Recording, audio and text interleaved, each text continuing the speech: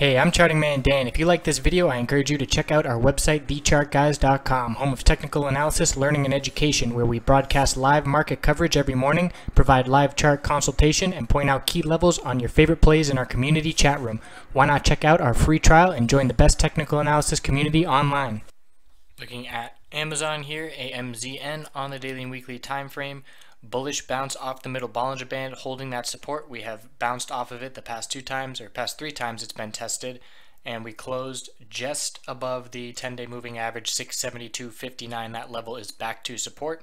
So a very bullish move by the Amazon bulls, and now it's very clear middle Bollinger Band support of 664.88 and 680 resistance. We have tested 680 many times without being able to close above it. So as this middle Bollinger Band support ascends, the range is going to get tighter and tighter of being able to trade below resistance and above support. And we should see a flex point coming to a, a climax next week with either a close above 680 or a close below middle Bollinger Band support as that moves up. So obviously a close below the middle Bollinger Band will be bearish. We have not been below that level since back on October 1st, so over two months now.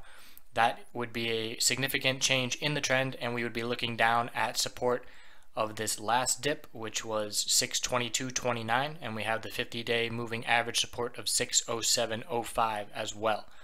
On the weekly chart, bulls are still very much in control. We have held this 10-week moving average support for pretty much the entire year. We have had a couple weeks where we did close just below it but quickly recovered it and we have not had a bearish reversal confirmed on this weekly chart in about eight months. So obviously a very bullish chart. As long as this 10 week moving average support holds of 618.41, that will be a great sign for the longer term bulls. We are seeing a little bit of a top out in the sense that this is a bearish reversal doji and this is confirming it with a red candlestick. We did form a higher low, barely.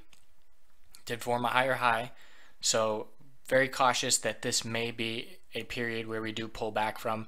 And if we do, we'll be looking at those levels I pointed out on the daily chart, as well as the 10-week moving average of 618.41. But a close above 680 should signal more upside, and we'll see how it shapes up early next week. We should see this a break either above or below support and resistance. So if you like this video, subscribe to my YouTube channel. I put them out daily. The website again is thechartguys.com. I can convey information much more efficiently live on webcam utilizing the five minute charts. They allow for more attention to detail in terms of support and resistance levels, as well as key changes in trend up to the minute right when they happen. So come on by for a free week. I look forward to meeting you.